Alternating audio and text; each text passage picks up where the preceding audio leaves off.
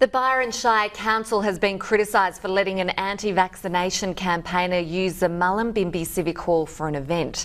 Immunisation supporters say it's a kick in the guts to local children who have lost their lives.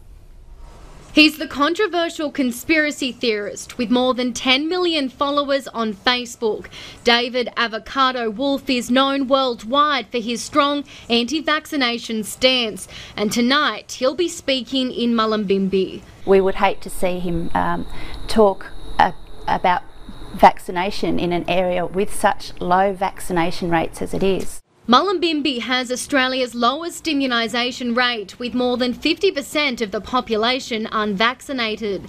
The Northern Rivers vaccination supporters are criticising the Byron Shire Council for allowing the event to be held. It's concerning that the council, who also run immunisation clinics throughout the Shire, would let an anti vaccination proponent um, speak in Mullumbimby. But the council says there's no rules or regulations for the Civic Hall and won't cancel the event. At this point in time, we currently don't have a policy to say who can or who can't use the halls. Some locals agree. I think people are entitled to their own opinions about it.